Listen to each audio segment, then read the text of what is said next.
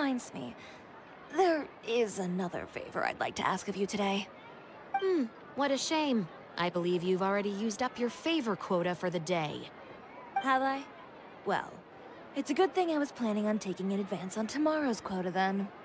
Don't you think you're maxed out on advances already? I always pay you back in information, don't I? It's just like you said. You scratch my back, and I scratch yours.